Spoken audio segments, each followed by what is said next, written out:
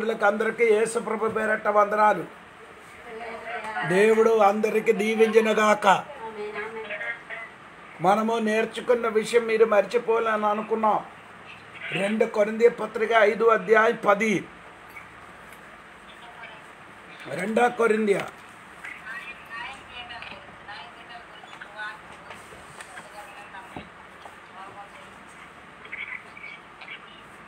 ఎందుకనగా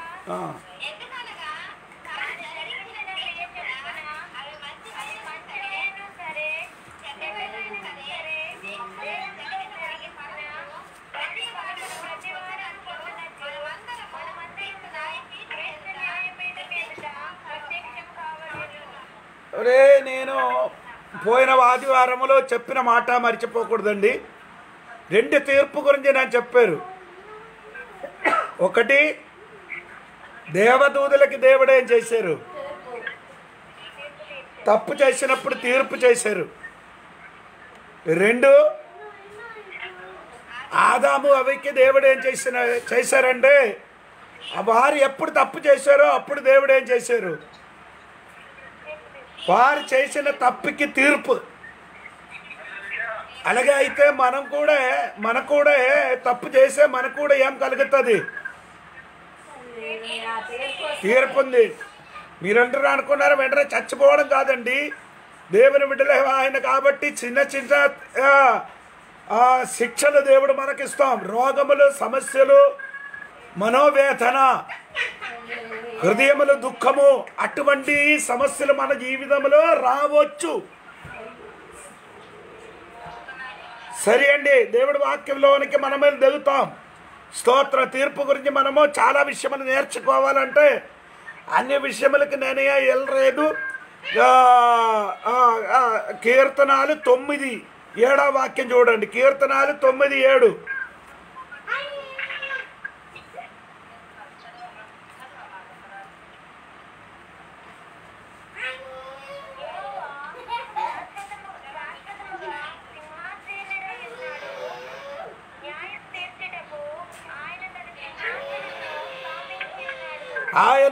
ఆయన తీర్చడానికి తన సింహాసనములో స్థాపించుచున్న రవి సింహాసన స్థా- స్థాపించిన ఉద్దేశం ఏంటంటే న్యాయం తీర్చడానికి సింహాసనము స్థాపించిన ఉద్దేశం ఏంటంటే న్యాయము తీర్చడానికి. అందుకని పగలి సమయంలో దేవుడు బిడ్డలారు మర్చిపోకుండా దేవుడి సింహాసనంలో స్థాపించిన ఉద్దేశము న్యాయం తీర్చడానికి. స్తోత్రం. ఇన్ని తొంభై ఆరు కీర్తన పదిమూడో వాక్యం చూడండి.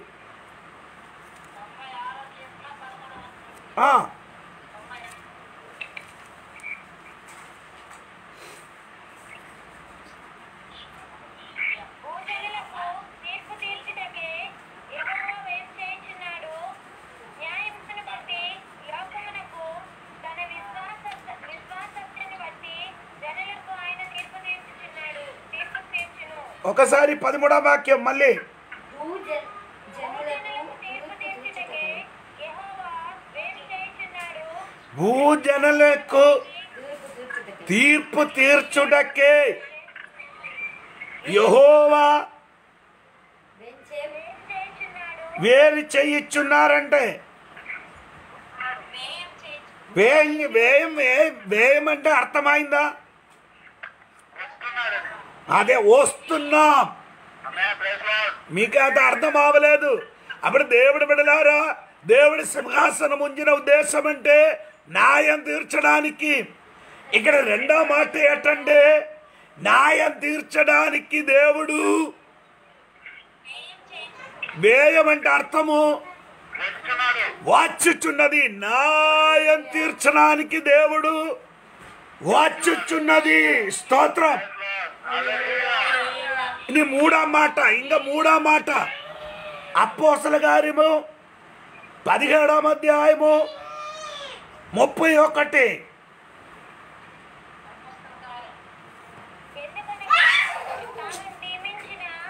ఎందుకనగా? అమ్మా ఎందుకనగా? తన నియమించిన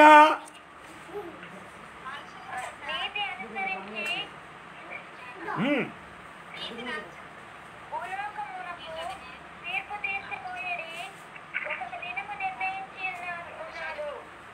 అంటే న్యాయం తీర్చడానికి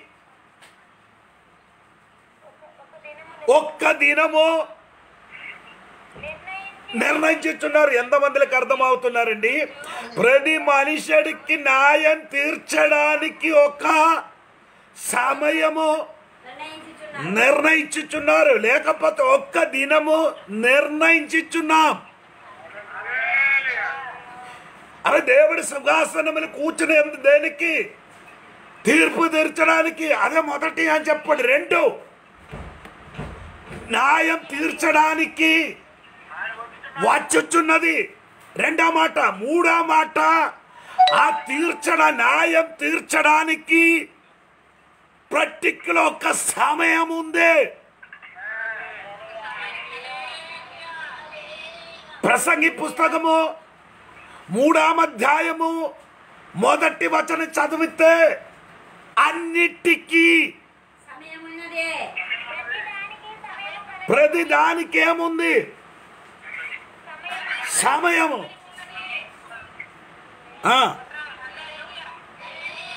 అక్కడ ప్రతి దానికి సమయం అని రాయబడిన మీరు చదవాలి ఇంచుమించి ఇరవై ఎనిమిది విషయం కొరకు సమయం ఉంది అది మీరు చదవాలి. అది తర్వాత మీరు చదివి చదివి నేర్చుకో. ప్రతి విషయంకి సమ- ఒక సమయం ఉంది. ఏడుపినొక్క సమయం. నవ్వడానికి ఒక సమయము శ్రమ అనుభవించడానికి ఒక సమయము. మరణానికి ఒక సమయము. లో అదే ఇరుగు కొట్టడానికి ఒక సమయము. కట్టడానికి ఒక సమయము. ప్రతి విషయములకి ఏముంది? సమయం ఉంటిన కనుక దేవుని బిడ్డలకి తీర్పు తీర్చడానికి ఒక్క సమయము దేవుడు నిర్ణయించుచున్నది. ఎంతమందికి అర్థమైందండి? నాకు తెలియదండి. దేవునికి స్తోత్రం. అందుకని ప్రకట ప్రకటన గంధము నాలుగు రెండో వాక్యం చదవండి. ప్రకటన గంధమైన నాలుగు అధ్యాయం రెండవ వాక్యం.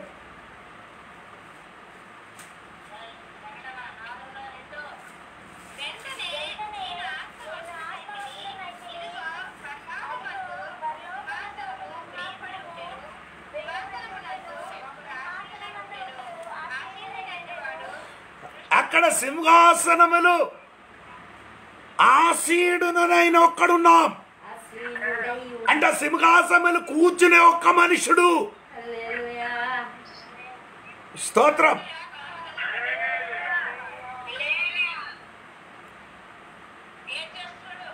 అందుకని ఈ రా ఈ పగిలి సమయంలో ఏమైనా చెప్పబడుతున్నారంటే ఏడు విధములున్న తీర్పు ఉంది.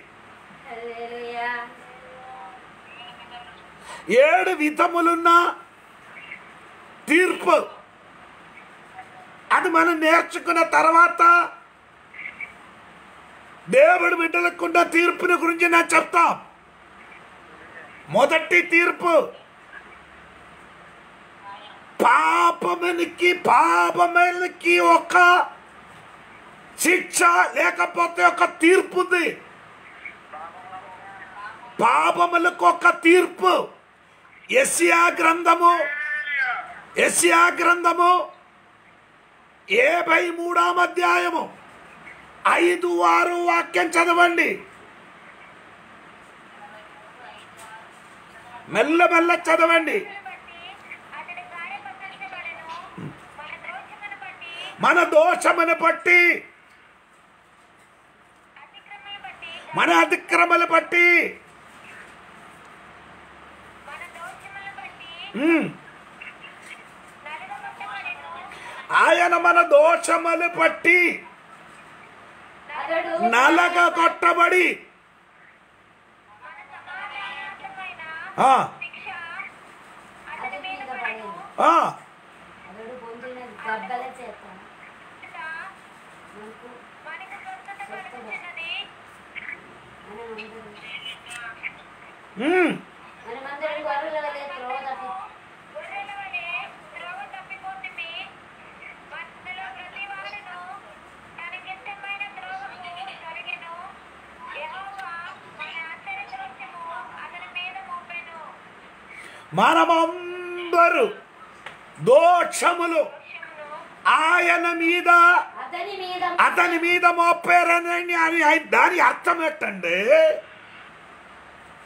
మానవ కులములు పాపమన్నీ ఆయన మీద మోపారు. ఆయన మీద మోపారు.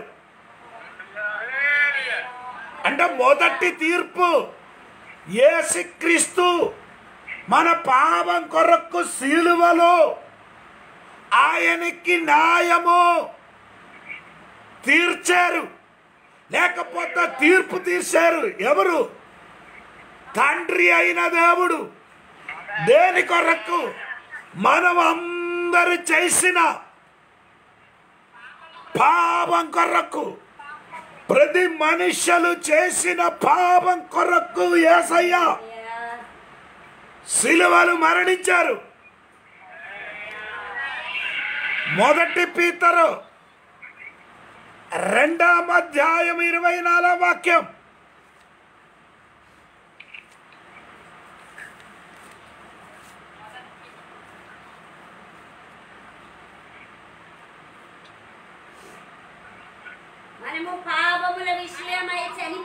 మనం పాప విషయములు చనిపోయి నీది విషయమై జీవించినట్లు జీవించినట్టు ఆయన తానే తన తనే శరీరములు మన పాపములు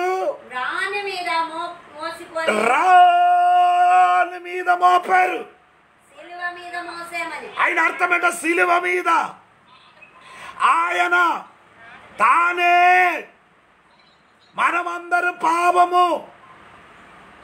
రాన మీద శిలువ మీద నీ పాపము మోసి ఆరు గంటలు సిలువలో ఏలాడారు. ఆరు గంటలు సిలువలు మన కొరకు ఏలాడారు. దేనికి? మన పాపం కొరకు. స్తోత్రం.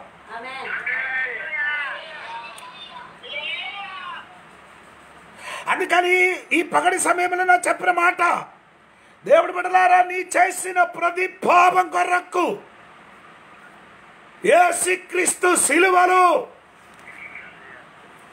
మరణించారు. నీ రెండు కొరింథీ పత్రిక రండి. రెండు కొరింథీ పత్రిక. ఐదు అధ్యాయము. ఇరవై ఒకటి.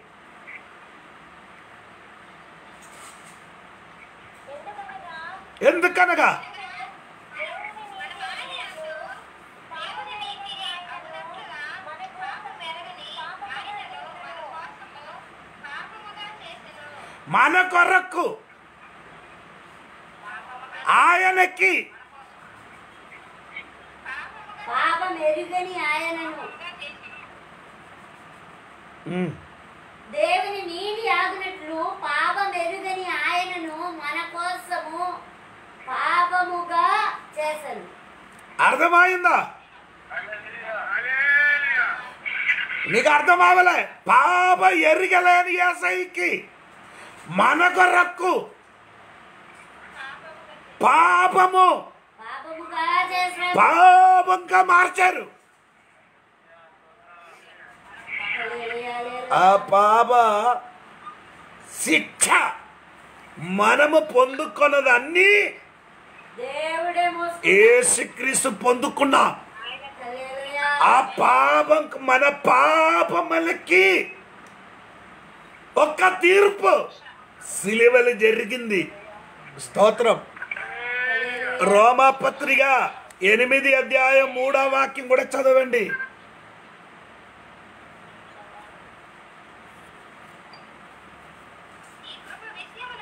ఆ.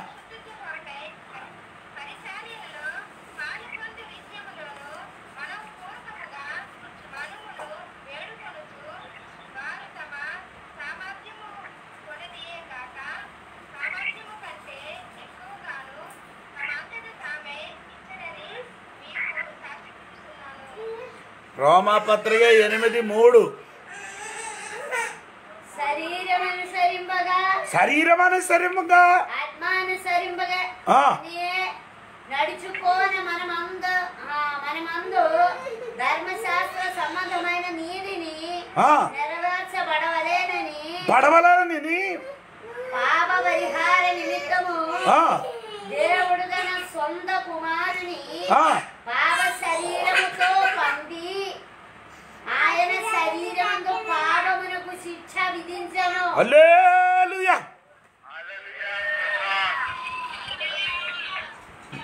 ఆ వాక్యములు మీకు అర్థమైందా? పాప శరీరములకి శిక్ష విధించారు. హల్లెలూయా, దేవా. మన పాపం ఆయన మోసినప్పుడు యేసుక్రీస్తుకి శిక్ష విధించారు. ఏంటి శిక్ష? శిలువ మరణము.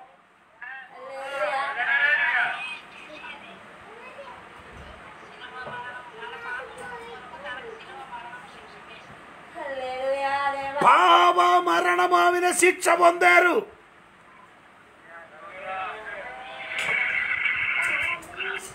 స్తోత్రం. ఈ పగలి సమయం దేవుడ బిడలు మా దేవుడ బిడలు తెలుసుకున్న విషయం ఏంటంటే మన పాపం కొరకు యేసుక్రీస్తుకి నీకేం చేశారండి? శిక్ష విధించారు. ఎక్క- ఎ- ఎక్కడ? ఆయన శరీరములు. నీ శరీరములు పొందవలసిన శిక్ష. ఆయన శరీరములు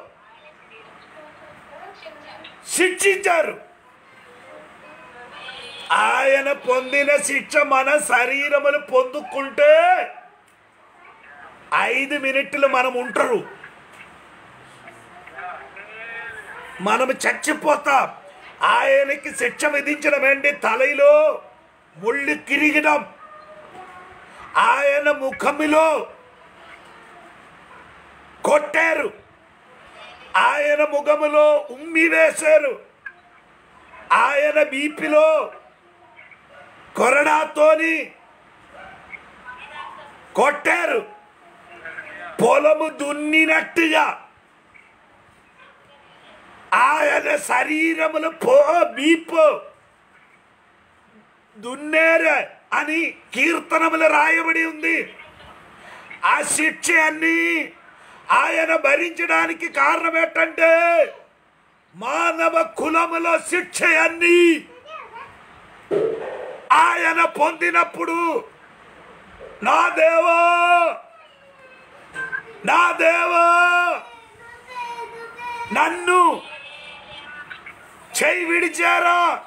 ఏలి ఏలి లంబా శపక్కదాని అని ఉచ్చ స్వరములు దేవుడు పిలిచినట్టుగా ఆ శిక్ష అన్నీ ఆయన శరీరములో పొందేరండి దేవునికి స్తోత్రం కలిగిన గాక గట్టిగా స్తోత్రం చెప్పలేదు మీరెవరు. అందుకని ఈరోజు నేను చెప్పిన మాట- మాట ఏంటండి దేవుడు బిడ్డలు ఒక్క విషయం తెలుసుకోవాలి దేవునికి స్తోత్రం. అంటే ఆ శిక్ష అన్ని యేసుక్రీస్తు ఏం చేశారండి? భరించినట్టుగా దేవుడు వాక్యములు రాయబడింది. దేవునికి స్తోత్రం. అదే అదే మొదటి మొదటి తీర్పు అదే అండి స్తోత్రం. మొదటి తీర్పు అదే. రెండవ తీర్పు చూడండి. రొ- మొదటి కొరిందే పత్రిక పదకొండు అధ్యాయ ముప్పై ఒకటి ముప్పై రెండవ వాక్యం చూడండి. అయితే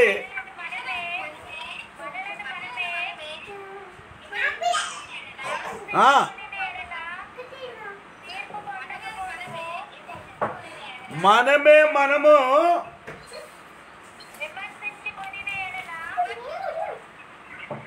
అక్కడ విమర్శించుకొని ఏడలా అని రాయబడి ఉంది. ఇవాల్ అంటే ఆయన అర్థం ఏంటంటే మనకు మనమే తీర్పు తీర్చుకోవాలి దాని అర్థం. స్తోత్రం. అంటే ఇక్కడ ఈ సందర్భం ఏమంటే బల్ల కార్యం గురించి రాయబడి ఉంది. బల్ల కార్యం గురించి రాయబడినప్పుడు పౌలు గారు చెప్పిన మాట మనకు మనమే విమర్శించడానంటే తీర్పు తీర్చుకో. స్తోత్రం. ఎందుకు మనము తీర్పు తీర్చుకోవాలి? మనకు మనమే విమర్శించాలి. వేరే మనిషిని విమర్శిస్తే మనకు నచ్చను. దేవుని దగ్గరికి నీ వచ్చినప్పుడు బల్ల కార్యక్రమాలకి అడుగుపెట్టిన మునువే తన తన జీవితములకి ఏం చేయాలి? విమర్శించుకోవాలి. చాలా మంది విశ్వాసులు ఏం చేసుకున్నారంటే ఇరుగులు పొరుగులు వారికి విమర్శించుచున్నారు కానీ తన తన జీవితములకి చెయ్యలే? సోత్రం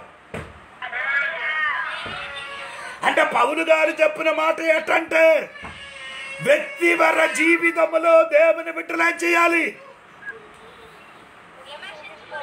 విమర్శించుకోవాలి. స్తోత్రం చెప్పండి గట్టిగా. ఇంకా ముప్పటి ముప్పై ఒకటి ముప్పై రెండో వాక్యం చదవండి. మొదటి కొరింథీ పత్రిక పదకొండు అధ్యాయం ముప్పై ఒకటి ముప్పై రెండు.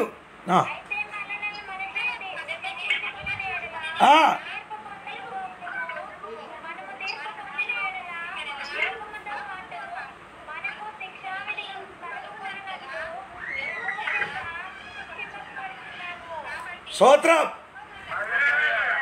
స్తోత్రం ఎందుకు సో నేను ఎందుకు చెప్పారంటే మీకు అర్థమైందా? మీరు ఎందుకు చెప్పారు?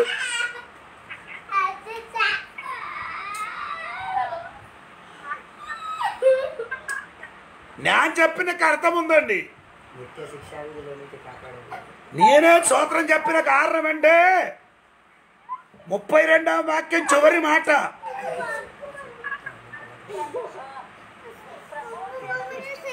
సూత్రం దానికే నేను ఏం ఏం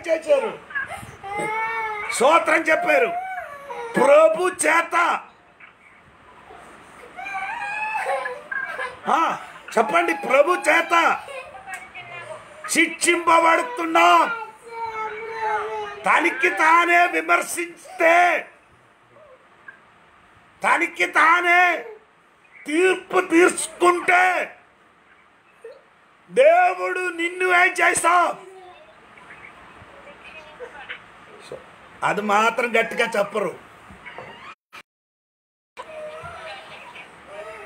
ప్రభు చేత శిక్షింపబడడానికి ఎంతమందికి ఇష్టం ఉంది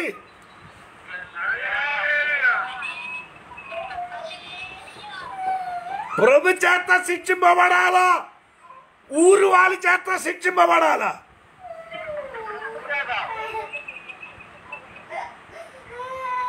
ప్రభు చేత శిక్షింపబడాలంటే మీరు తనకి తానే విమర్శించుకో. ప్రభు చేత శిక్షింపబడడానికి ఇష్టం లేకపోతే అన్యులకి విమర్శించే విమర్ అన్యులకి విమర్శిస్తే చాలు. అన్యులకి విమర్శిస్తే అన్నిలు నిన్ను శిక్షింపబడుతుంది. నా చెప్పిన అర్థం అయిందా లేదో నాకు తెలియదు. స్తోత్రం. ఈ తీర్పు మనకు ఇప్పుడు అవసరం. చాలా మందికి ప్రభు చేత శిక్షింపబడడానికి ఇష్టం లేదు. ఎబ్రి పత్రికలకి రండి ఎబ్రి పత్రిక. పన్నెండాం అధ్యాయంలోకి రండి.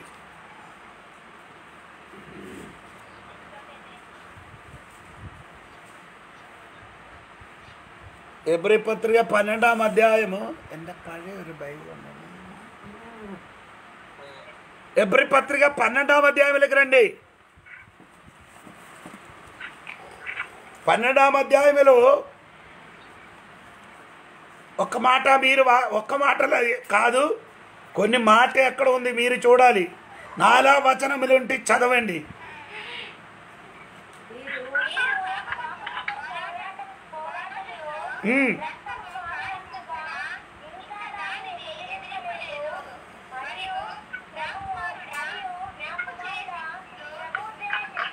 హలో ఒకటి ఒకటి ఒకటి ఒకటి. నా కుమారుడా. సోత్రం. అందుకే ఎవరికి శిక్ష ఉందండి?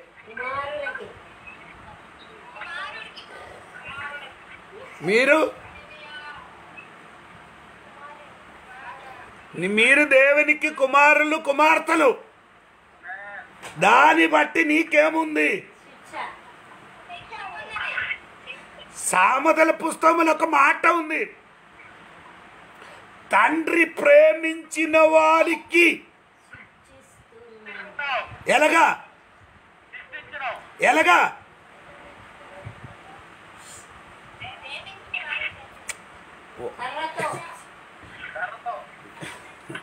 తండ్రి ప్రేమించిన వాడికి బెత్తం వాడుతున్నది. సూత్రం.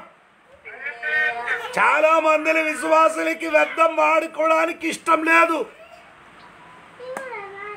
కుమారుడు అయితే కుమార్తె అయితే నీ వీపు మీద బెత్తం వాడుతుంది. సరి అయిన తండ్రి బెత్తం వాడితే పిల్లలు ఏమావదు. చచ్చిపోవరు. నేను వాక్యమే చెప్తున్నారు సామతల పుస్తకములు. స్తోత్రం. సరి అయిన తండ్రి పిల్లలకి బెత్తం వాడితే చావుకు తీసుకొని వెళ్ళను. స్తోత్రం. అందుకని సంఘ బిడ్డలు ఈరోజు బాగా తెలుసుకో. దేవుడు చెప్తున్నారు మాట. వ్యర్థంతో పౌలు గారి కొరిందే సంఘములకి చెప్పిన ఒక మాట చెప్పొచ్చా ఈ ఇదిని సంబంధించిన ఒక మాట.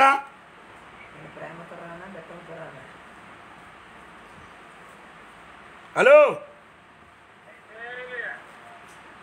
రెండు కొరింది పత్రలు ఉంది ఆ మాట. చెప్పొచ్చా? ఎవరి జవలో సైలెంట్గా కూర్చున్నారండి? మీ దగ్గరికి నేను ఎర- ఎలాగా రా నీ దగ్గరికి నేను ఎలాగా రావడానికి చెప్పిందండి? నాలుగు అధ్యాయం రెండు కొరింది ఒకటి కొరింది నాలుగు ఇరవై. ఇరవై ఒకటి.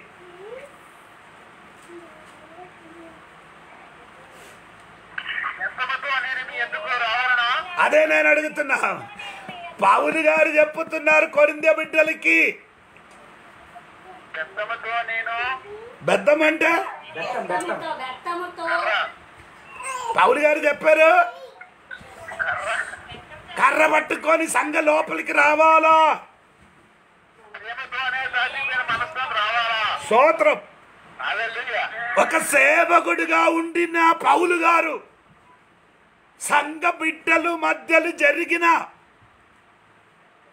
తప్పులు చూసినప్పుడు పౌలు గారు అడుగుతున్నాం నేను మీ మధ్యకొచ్చినప్పుడు. అందుకని కొందరు అడుగుతున్నారు నన్నే కొట్టారట. అవును ఉషా? నిన్నే ఎందుకు కొట్టారు? నీ దేవుడి బిడ్డ ఆయన కాబట్టి. స్తోత్రం చెప్పరు కదా? యేసుకి అంటే యశా గ్రంథంలో ఒక మాట ఉంది. నేను ఇస్రాయేలుని బెద్దంతో శిక్షిస్తా. స్తోత్రం. అప్పుడు తనకి తానే విమర్శిస్తే దేవుడు మమ్మల్ని ఏం చేస్తానండి శిక్షిస్తుంది ఇన్ని కొంచెం ఇన్ని ఎప్పుడు పత్రికలకి రండి. పన్నెండాం అధ్యాయము. ఐదు ఆ, పన్నెండాం వాక్యం ఈ నిన్న ఐదాం వాక్యం ఆ, నాలాం వాక్యం.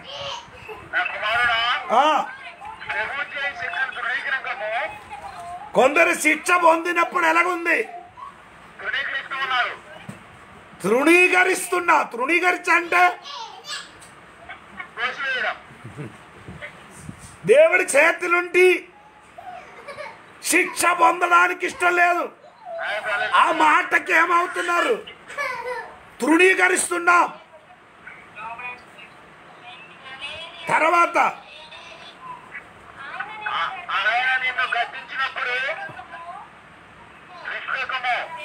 రెండో రెండో. తృణీకరించకూడదు. కొందరు తృణీకరిస్తున్నాం. కొందరు శిక్షించినప్పుడు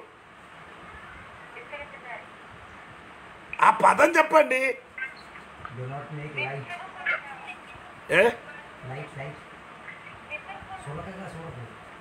ఒకసారి కూడా వాక్యం ఇప్పుడు చదివినది.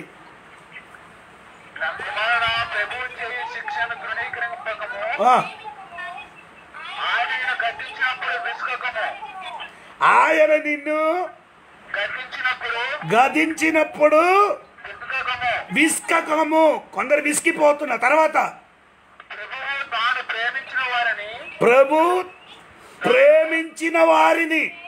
శిక్షించి హలో. ఎవరికి శిక్షిస్తాం ఇప్పుడు పాస్టర్ గారు నిన్ను తిట్టుతుండ ఆయన అర్థం ఏంటండి. అది పాస్టర్ తిట్టినాడు అనుకో. విశ్వాసం ముఖం మారిపోతుంది. ఊరంతా చెప్పుకు నాకు నేను యొక్క విశ్వాసులకి ఇలా మాట్లాడింది. అయినా మన సంఘం విడిచిపట్టి వెళ్ళడానికి కారణం అది. నేను చెప్పారు మీరు జోని పాస్టర్ని వెతికిన ఒక రోజు వస్తుందని చెప్పారండి. వెంటనే ఆయన చెప్పారు నీ పాస్టర్గా ఉండి నన్ను శపించారు. స్తోత్రం. శపించడం అలాగా? ఎలాగ శపించడము? శపించడము వేరే వెతుక్కడము శపించడము రెండు ప- రెండు పదమా ఒక్క పదమా వేరే వేరే కదా ఈయనకి ఇది రెండు ఒక్కటే అను అనుకున్నారు అంటే దేవుని బిడ్డలకి దేవుడు ప్రేమించిన వారికి సృష్టిస్తున్నాం అదే రీతిగా సంఘ కాపారి ప్రేమించిన దేవుని బిడ్డలకు కూడా శిక్షిస్తాం. స్తోత్రం. తర్వాత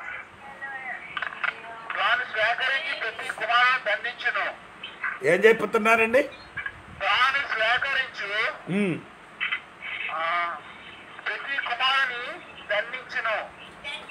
దండించును. అంటే అర్థమైందా? ఏడోమో దే దేవునికి దండించను. తర్వాత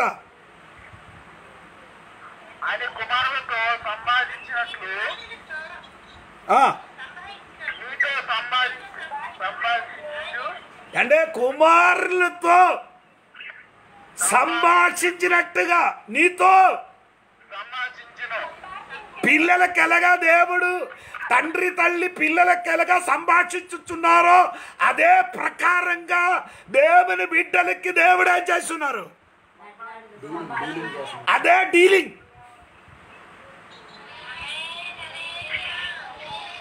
స్తోత్రం. ఇంకా ఇంకా ఇంకా తడవండి. ఆయన హెచ్చరికను మరచితి మరచితిరి హ్మ్. శిక్షాఫలం పొందినట్టే మీరు సహించుచున్నారు దేవుని కుమారునిగా మిమ్మల్ని చూచుకుంటూ చూస్తున్నాడు ఆ, తండ్రి శిక్షింపని కుమారుడెవడు ఆ, కుమారులైన వారందరూ శిక్షలో పాల్గొంటున్నారు మీరు పొందని ఎడల బుద్ధులే కాని కుమారులు కాదు సరి దుర్బీజులే కాని దుర్బీజులు అదే అండి అర్థం. శిక్ష పొందలేని వాడు. దుర్బీజులు అదే అండి అర్థం.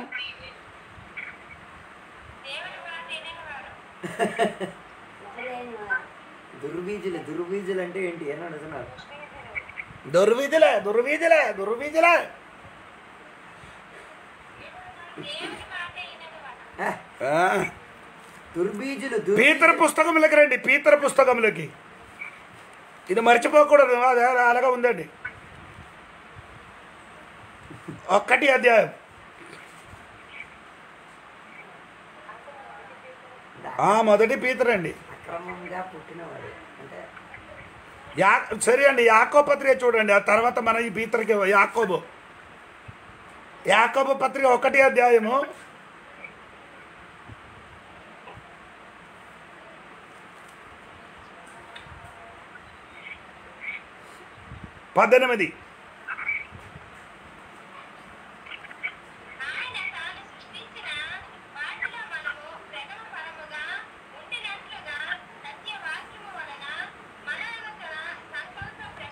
సరే సత్యవాక్యం వలన?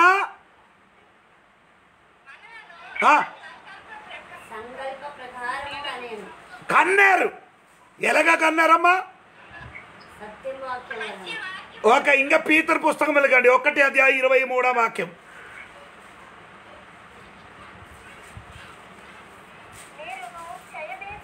బా చాలు చాలు చాలు దొరికింది. హలో? క్షయబీజం. ఇక్కడ పీతరే మనము ఎబ్రి పత్రికలే అండి చదివారు? దుర్బీజం. ఇక్కడ ఏం చదివారు శైవి ఆ, ఇది- ఇప్పుడు నీకు అర్థమవుతుందా?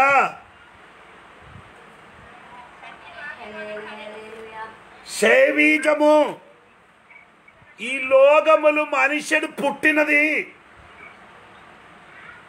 విషయం గురించి పీతర్ గారు యా ఎబ్రి పత్రిక రాయబడి ఉంది. దుర్బీజం అంటే అన్య మనుషులు వలన జన్మించిన పిల్లలు అది. అక్రమ సంబంధములో జన్మించిన పిల్లలు. సోత్రం అర్థం ఆవలేదు. అర్థం ఆవలేదు. మతాయి సువార్త పదిమూడవ అధ్యాయం చదివినప్పుడు ఏడు దృష్టాంతం అక్కడ దేవుడు చెప్పింది. దేవుడు పొలములు ఏ విత్తనము? గోధంపు గోధుమ. గోధుమ వేశారు గోధుమ వేసిన చోటలెక్కి వేరొక్క విత్తనం వేశారు గురుగులు. ఇది చూసుకుంటే ఒకే అలాగా ఉన్నాం. స్తోత్రం. స్తోత్రం లోకములున్న అందరికి చూసుకుంటే ఒకే రీతిగా ఉన్నాం. కానీ దేవుడి బిడ్డలకి తేడా ఉంది.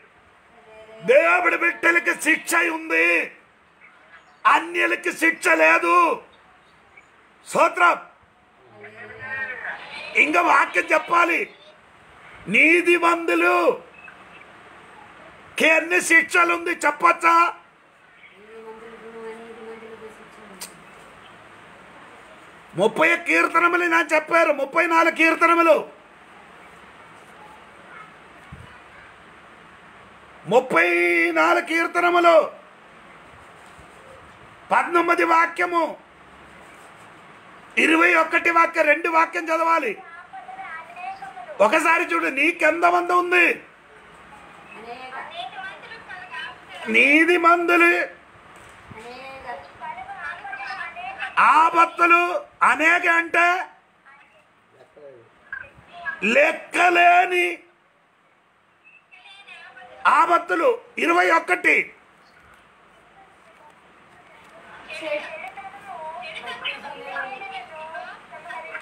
హలో సోదరం చాలండి నాకు అర్థమైంది మీకు ఇప్పుడు అర్థమైందా? ఆ వాక్యములు కలిసి ఇప్పుడు చెప్పాలి.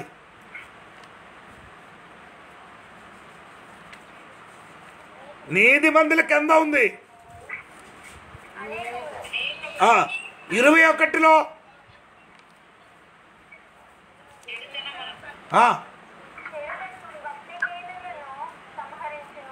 ఇంకా అర్థం చెప్పండి. భక్తిహీనానికి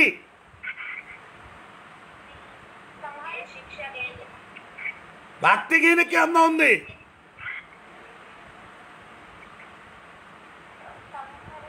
ఒకేసారి అదే సంకరించిన అంటే అర్థం. అప్పుడే అయిపోయింది ఒక్క చుట్టే అయిపోతుంది సంహారం అంటే అర్థమేంటి? చంపడమే. కానీ నీతిమంతుడికి అనేక ఆవుదులు ఉన్నాయి. దేవుడు వారిని రక్షిస్తారు. ద లార్డ్ రెస్క్యూస్ ఏ, నీతిమంతుడికి అనేకమైన ఆపదలు వచ్చినప్పుడు ఆడి చచ్చిపోరు. కానికి భక్తిహీనుడికి ఒకేసారి ఒక్క వచ్చే ఆడి చంపేస్తాడు ఆడికి స్తోత్రం చెప్పలే. స్తోత్రం మనకి జాబేసి చెప్పినట్టుగా. రెండు మొదటి దినవర్తాంతము నాలుగు అధ్యాయము.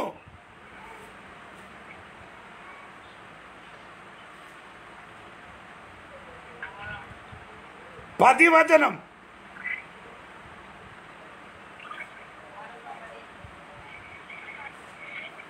అబేజు ఇశ్రాయేలుల దేవుని గూర్చి మొరపెట్టి, నీవు నన్ను నిశ్చయముగా ఆశీర్వదించి, నా సరిహద్దును విశాలపరిచి, నీ చెయ్యి నాకు తోడుగా ఉంట, దయచేసిన నాకు కీడు రాకుండా దానిలో నుండి నన్ను తప్పించుము. కీడు రాకుండా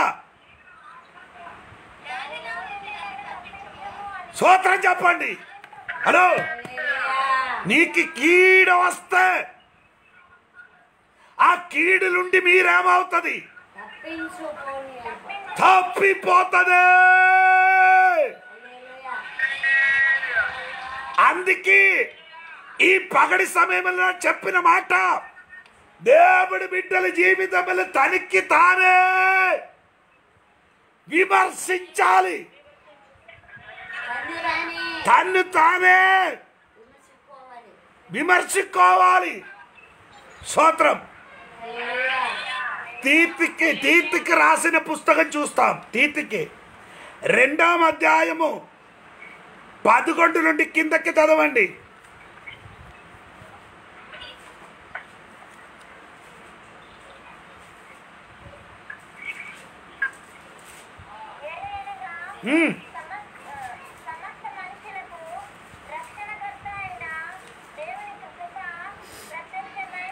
మనం చదవమ్మా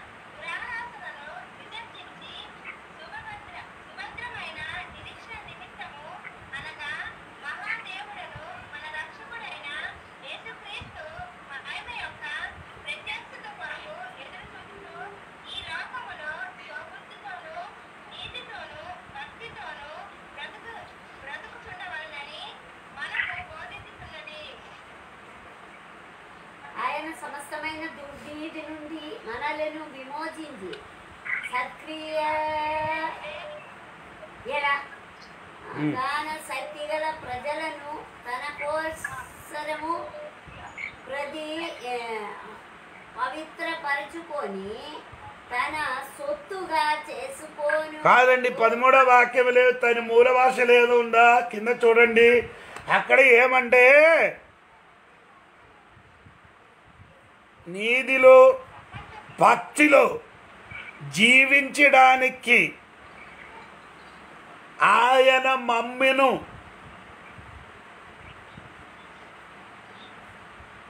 టు లివ్ సెన్సిబుల్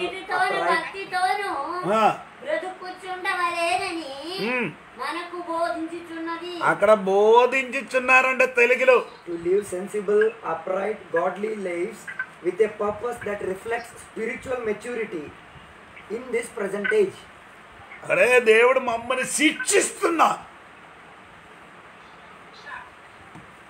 శిక్ష దేనికి? నీతితో భక్తితో బ్రతుకు నిమిత్తము. మోపించుచున్నారంట దేవుడు వాక్యములు తెలుగులో. దేవుడు మమ్మల్ని ఏం చేస్తున్నారండి. శిక్షిస్తున్నా. స్తోత్రం. స్తోత్రం కలిగిన గాక. అందుకని దేవుడు బిడ్డలారా ఈరోజు నేను చెప్పిన మాట ఏంటంటే ఆ శిక్ష మన జీవితములు వస్తున్న దేనికని తెలుసా? భక్తితో. నీతితో. బ్రతుకుడకు స్తోత్రం. హల్లెలూయా. ఆ, జ్వరం ఎందుకు వచ్చింది?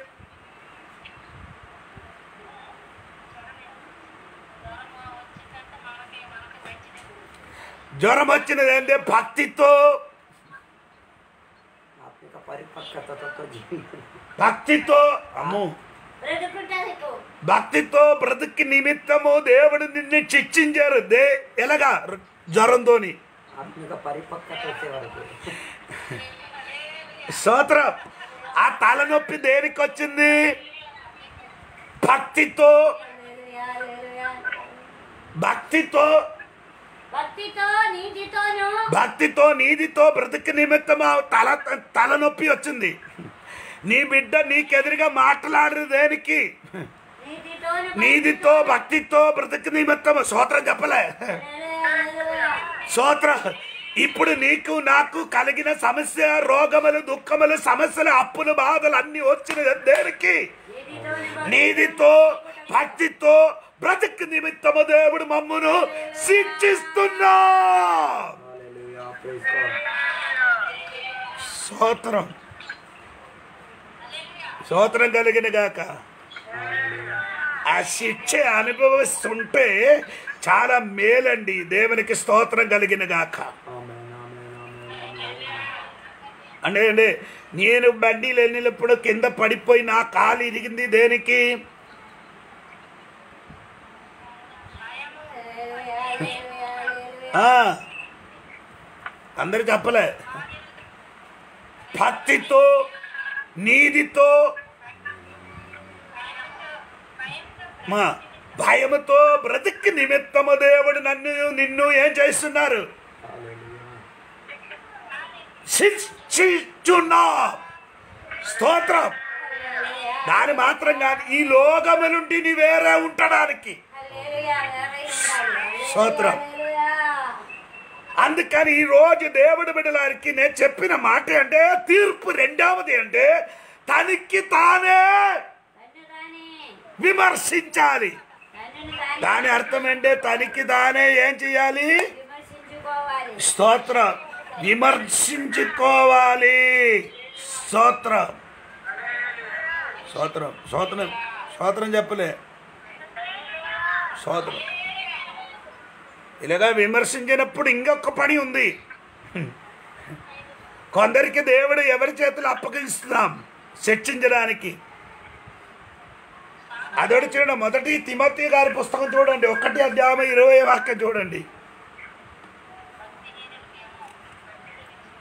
త్వరగా. రెండు వాక్యాలు చదివి మాట ముగించాలి త్వరగా.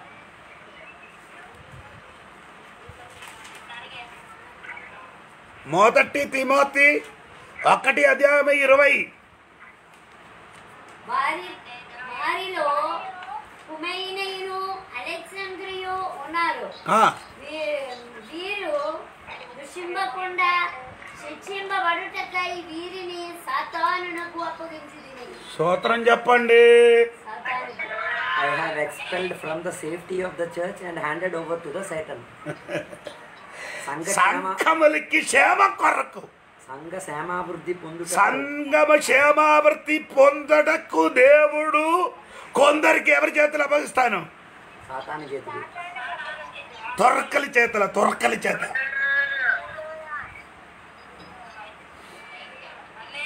కొన్ని కొన్ని కొన్ని మేకలకి పాస్టర్ కొట్టితే సరి అవదు అదే కొట్టాలి. ఆడి కొడితే బాగా అవుతుంది హల్లెలూయా, ఆమేన్, ఆమేన్.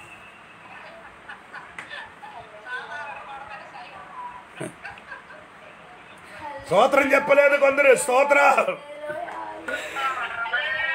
కొందరు సాతాన్ని కొట్టుతున్నారు. దేవుడు కొట్టలేదు అక్కర్లేదు దైవదాసులు కొట్టరు అక్కర్లేదు. సాతాన్ని కొట్టరు మంచిదే. దేవుడి సన్నిధిని దేవుడి దాసులు దై- దేవుడి దాసులు దేవుడు నిన్ను శిక్షిస్తే అది మేలు. స్తోత్రం. తన తాను నీ విమర్శించలేకపోతే నీకెదురుగా విమర్శించిన ఒక్కడు చేతికి నిన్ను అపగించ అప్పగిస్తా. స్తోత్రం శాతానికి అప్పగించాడు. స్తోత్రం ఇంకా కొరిది పత్ర కూడా చూడండి. కొద్ది కొరింది పత్రికలకి రండి అది కూడా చదువు మీ మాట ముగిస్తున్నారండి. కొరింది పత్ర రండి మొదటి కొరింది పత్రిక ఐదు ఐదు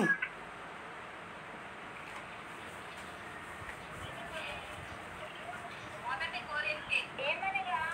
ప్రభువైన యేసు దిన- యేసు దినమందు ఆ. మీ ఆత్మ రక్షింపబడినట్లు శరీరేచ్ఛలను నశించుటకై మన ప్రభువైన యేసుక్రీస్తు నామమున మీరు నా ఆత్మయు నా- మన ప్రభువైన యేసుక్రీస్తు బలముతో కూడి వచ్చినప్పుడు అట్టి వాణ్ణి సాతానునకు అప్పగింపవల అప్పగింపవలెను స్తోత్రం నే- ఈ- ఆ వాక్యం చదివినది మీకు అర్థమైందా? అర్థమాములు కొరిందే సంఘ బిడ్డలు ఒక్కడ ఏం చేశారు తప్పుడు మార్గములు నడిచినప్పుడు సంఘ బిడ్డలు సంఘ కాపారి ఆ సంఘ కాపారి సంఘ బిడ్డలు చెప్పడం మాటకి లోబడలేను కాబట్టి సంఘము సంఘ కాపారి కలిసి ఆ విశ్వాసికి ఎవరి చేతులు అప్పగించారు?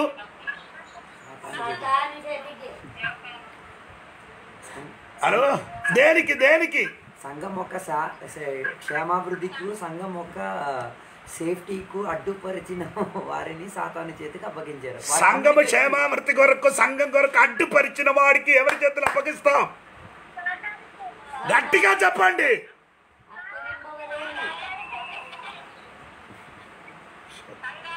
దేనికి సాతాను చేతులు అప్పగిస్తాం?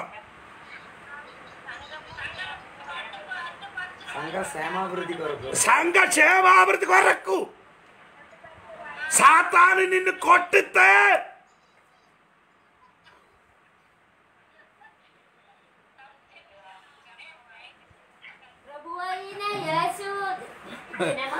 ప్రభు అయిన యేసు దినమందు వారి ఆత్మలు రక్షింపబడడానికి శరీర ఇచ్చలను నశించుటకై యేసుక్రీస్తు నామమున మీరును.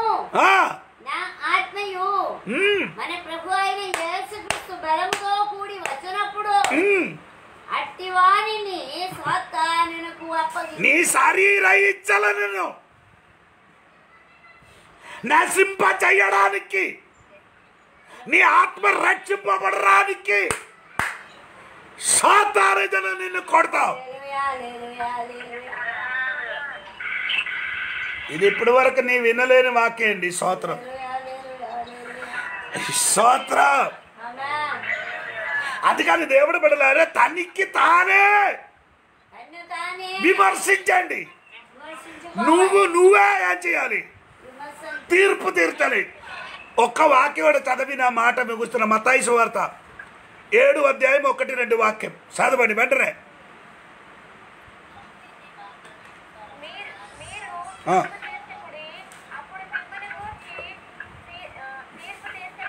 అందుకే యేసు చెప్పున్నాడు యేసుక్రీస్తు చెప్పున్నాడు. చెప్పుతున్నారు మీరు. తీర్పు తీర్చుకొని మిమ్మను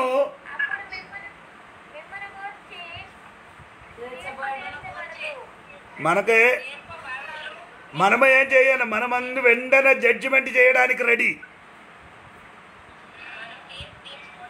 అంటే మనమందరం ఇప్పుడు మైసరట్ అయిపోతుంది. ఏమండి అర్థం చెప్తున్నారండి? ఆ చదివిన వాక్యం ఏంటి? ఒక్కసారి కూడా చూడండి మిమ్మను. మీరు అంటే మీరేం చేయకూడదు. తీర్పు అక్కడ నిలబడి తీర్పు తీర్చకూడదు. పౌలు గారు చెప్పారు మీరే ఏం చేయాలి? తీర్పు తీర్చాలి. పౌలు గారు చెప్పారు తీర్చుకోవాలి. యేసుక్రీస్తు చెప్పుతున్నారు మీరేం చేయకూడదు. తీర్చకూడదు ఎవరికి? ఇంకా చూడండి వాక్యం. మీరు తీర్పు తీర్పు చొప్పునే మిమ్మల్ని గురించి ఏ. తీర్చబడిన మీరు మీరు తీర్పు తీర్చకుడి ఉమ్. తీర్- తీర్పు తీర్చబడదు మీరు తీర్పు మీరు తీర్చు తీర్పు చెప్పునే మిమ్మల్ని గూర్చి తీర్పు తీర్చబడును స్తోత్రం. మనము వెంటనే వెంటనే మనుషునికి ఏం చేసుకున్నారు? ఒకడికి ఏదైనా ఏదైనా చెప్తే ఏదో వెంటనే తీర్పు. తీర్పు తీర్చకూడదండి. స్తోత్రం. అందుకని ఈ రాత్రి ఈ పగలి సమయంలో దేవుడి విడలకి నేను చెప్పిన మాట క్రైస్తవ జీవితములు మన సొంతం సొంతం ఏం చేయాలి. తీర్పు తీర్చుకో. మనలోని ఉన్న తప్పు మనం ఒప్పుకో. బయటలున్న వాడి విషయం గురించి చెప్పకుండా మనం మనకు మనం మనకు విమర్శించండి. నీలోని రెండు వ్యక్తి ఉందండి. ఒకటి నీ మనసాక్షి నువ్వే. ఆ మనసాక్షి నీ విరోధంగా నీకు చెప్తుంది. అది అందరు కూడి అందరు కూడి వచ్చినప్పుడు చెప్పరు. ఒంటరిగా వండినప్పుడు ఆడ బయటికి వస్తుంది. ఆ స్వరం వినండి. ఒంటరిగా కూర్చున్నప్పుడు నీతోని మాట్లాడిన మనసాక్షి స్వరం విన్నా. గదిగాలములు మన చేయిన తప్పులన్నీ అప్పుడు మనకు జ్ఞాపకం వస్తుంది. వచ్చినప్పుడు వెంటనే ఏసయ్యకు చెప్పు తప్పు జరిగిందయ్యా అని తనకి తానే విమర్శించినవాడు ఎక్కడ విమర్శింపబడరు ఈ లోకములతోని? విమర్శింపబడను. స్తోత్రం.